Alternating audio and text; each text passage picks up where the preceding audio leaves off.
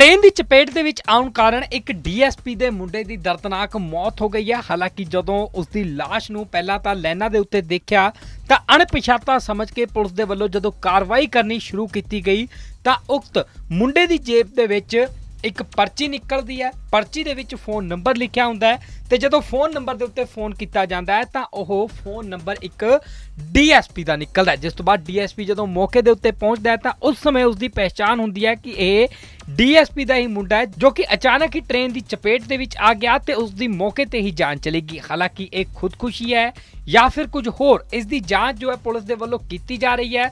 ਪਰ ਦੱਸ ਦਈਏ ਕਿ ਇੱਕ ਡੀਐਸਪੀ ਦੇ ਮੁੰਡੇ ਦੀ ਟ੍ਰੇਨ ਦੀ ਚਪੇਟ ਦੇ ਵਿੱਚ ਆਉਣ ਕਾਰਨ ਮੌਤ ਹੋ ਗਈ ਹੈ। ਹਾਲਾਂਕਿ ਜੋ ਡੀਐਸਪੀ ਹੈ, ਉਹ ਜਲੰਧਰ ਦੇ ਵਿੱਚ ਤਾਇਨਾਤ ਹੈ ਤੇ ਡੀਐਸਪੀ ਦੀ ਪਹਿਚਾਣ ਜੋ ਹੈ, ਉਹ ਸੁਖਜੀਤ ਸਿੰਘ ਵਜੋਂ ਹੋਈ ਹੈ। ਹਾਲਾਂਕਿ ਜੋ ਮੁੰਡੇ ਦੀ ਮੌਤ ਹੋਈ ਹੈ, ਉਸ ਦੀ ਉਮਰ 28 ਸਾਲ ਦੱਸੀ ਜਾ ਰਹੀ ਹੈ। ਤੇ ਅਜੇਪਾਲ ਸਿੰਘ ਲਾਲੀ ਵਜੋਂ ਉਸ ਮੁੰਡੇ ਦੀ ਪਹਿਚਾਣ ਹੋਈ ਹੈ। ਤਾਂ ਜਲੰਧਰ ਦੇ ਵਿੱਚ ਤੈਨਾਤ ਸੀ ਡੀਐਸਪੀ ਸੁਖਜੀਤ ਸਿੰਘ। ਉਸ ਦੇ ਬੇਟੇ ਦੀ ਅਚਾਨਕ ਹੀ ਟ੍ਰੇਨ ਦੀ ਚਪੇਟ ਦੇ ਵਿੱਚ ਆਉਣ ਕਾਰਨ ਮੌਤ ਹੋ ਗਈ ਹੈ ਤੇ ਇਸ ਘਟਨਾ ਤੋਂ ਬਾਅਦ ਪਰਿਵਾਰਕ ਮੈਂਬਰਾਂ ਦਾ ਵੀ ਰੋ ਰੋ ਕੇ ਬੁਰਾ ਹਾਲ ਹੈ। ਫਿਲਹਾਲ ਪੁਲਿਸ ਦੇ ਵੱਲੋਂ ਹਾਲੇ ਇਸ ਮਾਮਲੇ ਨੂੰ ਲੈ ਕੇ ਕੁਝ ਵੀ ਨਹੀਂ ਕਿਹਾ ਜਾ ਰਿਹਾ, ਕਿਉਂਕਿ ਇਹ ਜਾਂਚ ਦਾ ਵਿਸ਼ਾ ਹੈ ਕਿ ਆਖਰ ਇਹ ਖੁਦਕੁਸ਼ੀ ਹੈ। ਜੇਕਰ ਖੁਦਕੁਸ਼ੀ ਹੈ ਤਾਂ ਖੁਦਕੁਸ਼ੀ ਕੀਤੀ ਕਿਉਂ ਗਈ ਹੈ? ਕਿਉਂਕਿ ਮੌਕੇ ਦੇ ਉੱਤੋਂ ਕੋਈ ਸੁਸਾਈਡ ਨੋਟ ਵੀ ਨਹੀਂ ਮਿਲਿਆ।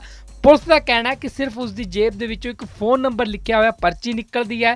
ਜਦੋਂ ਪਰਚੀ ਦੇ ਉੱਤੇ ਫੋਨ ਕੀਤਾ ਜਾਂਦਾ ਤਾਂ ਉਸ ਸਮੇਂ ਡੀਐਸਪੀ ਸੁਖਜੀਤ ਸਿੰਘ ਖੁਦ ਮੌਕੇ ਦੇ ਉੱਤੇ ਪਹੁੰਚਦੇ ਨੇ ਤੇ ਜੋ ਉਹਨਾਂ ਦਾ ਬੇਟਾ ਹੁੰਦਾ, ਉਸ ਦੀ ਪਹਿਚਾਣ ਕੀਤੀ ਜਾਂਦੀ ਹੈ। ਤਾਂ ਦੱਸ ਦਈਏ ਕਿ ਇੱਕ ਡੀਐਸਪੀ ਦੇ ਬੇਟੇ ਦੀ ਟ੍ਰੇਨ ਦੀ ਚਪੇਟ ਦੇ ਵਿੱਚ ਆਉਣ ਕਾਰਨ ਮੌਤ ਹੋ ਗਈ ਹੈ।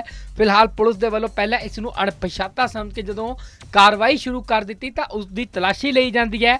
ਤਲਾਸ਼ੀ ਦੇ ਦੌਰਾਨ ਉਸ ਦੀ ਜੇਬ ਦੇ ਵਿੱਚੋਂ ਇੱਕ ਪਰਚੀ ਨਿਕਲਦੀ ਹੈ। ਪਰਚੀ ਦੇ ਵਿੱਚ ਨੰਬਰ ਲਿਖਿਆ ਹੁੰਦਾ ਹੈ ਤੇ ਉਸ ਨੰਬਰ ਦੇ ਉੱਤੇ ਜਦੋਂ ਪੁਲਿਸ ਦੇ ਵੱਲੋਂ ਫੋਨ ਕੀਤਾ ਜਾਂਦਾ ਹੈ, ਤਾਂ ਸਾਰਾ ਮਾਮਲਾ ਸਾਫ਼ ਹੁੰਦਾ ਹੈ। ਪਰੰਤੂ ਇਹ ਖੁਦਕੁਸ਼ੀ ਹੈ ਜਾਂ ਫਿਰ ਕੁਝ ਹੋਰ? ਹਾਲੇ ਇਸ ਦੇ ਬਾਰੇ ਕੁਝ ਵੀ ਨਹੀਂ ਕਿਹਾ ਜਾ ਸਕਦਾ, ਪਰ ਕਿਹਾ ਜਾ ਰਿਹਾ ਕਿ 28 ਸਾਲ ਦੇ ਮੁੰਡੇ ਦੀ ਜਾਨ ਚਲੀ ਗਈ ਹੈ। ਡੀਐਸਪੀ ਦਾ ਇਹ ਮੁੰਡਾ ਦੱਸਿਆ ਜਾ ਰਿਹਾ ਸੀ। ਡੀਐਸਪੀ ਜਲੰਧਰ ਦੇ ਵਿੱਚ ਤੈਨਾਤ ਹੈ ਤੇ ਮੁੰਡੇ ਦੀ ਪਹਿਚਾਣ ਅਜੇਪਾਲ ਸਿੰਘ ਲਾਲੀ ਵਜੋਂ ਹੋਈ ਹੈ। ਟ੍ਰੇਨ ਦੀ ਚਪੇਟ ਦੇ ਵਿੱਚ ਆਉਣ ਕਾਰਨ ਇੱਕ ਡੀਐਸਪੀ ਦੇ ਮੁੰਡੇ ਦੀ ਦਰਦਨਾਕ ਮੌਤ ਹੋ ਗਈ ਹੈ। ਹਾਲਾਂਕਿ ਜਦੋਂ ਉਸ ਦੀ ਲਾਸ਼ ਨੂੰ ਪਹਿਲਾਂ ਤਾਂ ਲਾਈਨਾਂ ਦੇ ਉੱਤੇ ਦੇਖਿਆ, ਤਾਂ ਅਣਪਛਾਤਾ ਸਮਝ ਕੇ ਪੁਲਿਸ ਦੇ ਵੱਲੋਂ ਜਦੋਂ ਕਾਰਵਾਈ ਕਰਨੀ ਸ਼ੁਰੂ ਕੀਤੀ ਗਈ, ਤਾਂ ਉਕਤ ਮੁੰਡੇ ਦੀ ਜੇਬ ਦੇ ਵਿੱਚ ਇੱਕ ਪਰਚੀ ਨਿਕਲਦੀ ਹੈ, ਪਰਚੀ ਦੇ ਵਿੱਚ ਫੋਨ ਨੰਬਰ ਲਿਖਿਆ ਹੁੰਦਾ ਹੈ ਤੇ ਜਦੋਂ ਫੋਨ ਨੰਬਰ ਦੇ ਉੱਤੇ ਫੋਨ ਕੀਤਾ ਜਾਂਦਾ ਹੈ ਤਾਂ ਉਹ ਫੋਨ ਨੰਬਰ ਇੱਕ ਡੀਐਸਪੀ ਦਾ ਨਿਕਲਦਾ ਹੈ। ਜਿਸ ਤੋਂ ਬਾਅਦ ਡੀਐਸਪੀ ਜਦੋਂ ਮੌਕੇ ਦੇ ਉੱਤੇ ਪਹੁੰਚਦਾ ਹੈ ਤਾਂ ਉਸ ਸਮੇਂ ਉਸ ਦੀ ਪਹਿਚਾਣ ਹੁੰਦੀ ਹੈ ਕਿ ਇਹ ਡੀਐਸਪੀ ਦਾ ਹੀ ਮੁੰਡਾ ਹੈ, ਜੋ ਕਿ ਅਚਾਨਕ ਹੀ ਟ੍ਰੇਨ ਦੀ ਚਪੇਟ ਦੇ ਵਿੱਚ ਆ ਗਿਆ ਤੇ ਉਸ ਦੀ ਮੌਕੇ ਤੇ ਹੀ ਜਾਨ ਚਲੀ ਗਈ ਹਾਲਾਂਕਿ ਇਹ ਖੁਦਕੁਸ਼ੀ ਹੈ ਜਾਂ ਫਿਰ ਕੁਝ ਹੋਰ, ਇਸ ਦੀ ਜਾਂਚ ਜੋ ਹੈ ਪੁਲਿਸ ਦੇ ਵੱਲੋਂ ਕੀਤੀ ਜਾ ਰਹੀ ਹੈ। ਪਰ ਦੱਸ ਦਈਏ ਕਿ ਇੱਕ ਡੀਐਸਪੀ ਦੇ ਮੁੰਡੇ ਦੀ ਟ੍ਰੇਨ ਦੀ ਚਪੇਟ ਦੇ ਵਿੱਚ ਆਉਣ ਕਾਰਨ ਮੌਤ ਹੋ ਗਈ ਹੈ। ਹਾਲਾਂਕਿ ਜੋ ਡੀਐਸਪੀ ਹੈ, ਉਹ ਜਲੰਧਰ ਦੇ ਵਿੱਚ ਤਾਇਨਾਤ ਹੈ ਤੇ ਡੀਐਸਪੀ ਦੀ ਪਹਿਚਾਣ ਜੋ ਹੈ, ਉਹ ਸੁਖਜੀਤ ਸਿੰਘ ਵਜੋਂ ਹੋਈ ਹੈ। ਹਾਲਾਂਕਿ ਜੋ ਮੁੰਡੇ ਦੀ ਮੌਤ ਹੋਈ ਹੈ ਉਸ ਦੀ ਉਮਰ 28 ਸਾਲ ਦੱਸੀ ਜਾ ਰਹੀ ਹੈ ਤੇ ਅਜੇਪਾਲ ਸਿੰਘ ਲਾਲੀ ਵਜੋਂ ਉਸ ਮੁੰਡੇ ਦੀ ਪਹਿਚਾਣ ਹੋਈ ਹੈ। ਤਾਂ ਜਲੰਧਰ ਦੇ ਵਿੱਚ ਤਾਇਨਾਤ ਸੀ ਡੀਐਸਪੀ ਸੁਖਜੀਤ ਸਿੰਘ। ਉਸ ਦੇ ਬੇਟੇ ਦੀ ਅਚਾਨਕ ਹੀ ਟ੍ਰੇਨ ਦੀ ਚਪੇਟ ਦੇ ਵਿੱਚ ਆਉਣ ਕਾਰਨ ਮੌਤ ਹੋ ਗਈ ਹੈ ਤੇ ਇਸ ਘਟਨਾ ਤੋਂ ਬਾਅਦ ਪਰਿਵਾਰਕ ਮੈਂਬਰਾਂ ਦਾ ਵੀ ਰੋ ਰੋ ਕੇ ਬੁਰਾ ਹਾਲ ਹੈ। ਫਿਲਹਾਲ ਪੁਲਿਸ ਦੇ ਵੱਲੋਂ ਹਾਲੇ ਇਸ ਮਾਮਲੇ ਨੂੰ ਲੈ ਕੇ ਕੁਝ ਵੀ ਨਹੀਂ ਕਿਹਾ ਜਾ ਰਿਹਾ ਕਿਉਂਕਿ ਇਹ ਜਾਂਚ ਦਾ ਵਿਸ਼ਾ ਹੈ ਕਿ ਆਖਰ ਇਹ ਖੁਦਕੁਸ਼ੀ ਹੈ।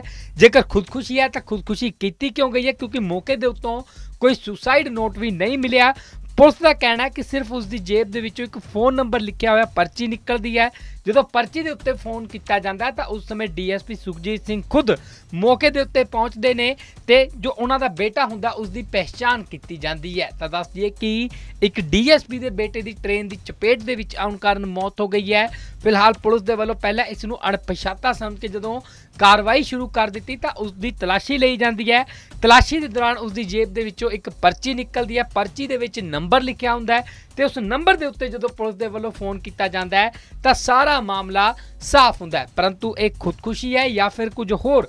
ਹਾਲੇ ਇਸ ਦੇ ਬਾਰੇ ਕੁਝ ਵੀ ਨਹੀਂ ਕਿਹਾ ਜਾ ਸਕਦਾ, ਪਰ ਕਿਹਾ ਜਾ ਰਿਹਾ ਕਿ 28 ਸਾਲ ਦੇ ਮੁੰਡੇ ਦੀ ਜਾਨ ਚਲੀ ਗਈ ਹੈ। ਡੀਐਸਪੀ ਦਾ ਇਹ ਮੁੰਡਾ ਦੱਸਿਆ ਜਾ ਰਿਹਾ ਸੀ। ਡੀਐਸਪੀ ਜਲੰਧਰ ਦੇ ਵਿੱਚ ਤੈਨਾਤ ਹੈ ਤੇ ਮੁੰਡੇ ਦੀ ਪਹਿਚਾਣ ਅਜੇਪਾਲ ਸਿੰਘ ਲਾਲੀ ਵਜੋਂ ਹੋਈ ਹੈ।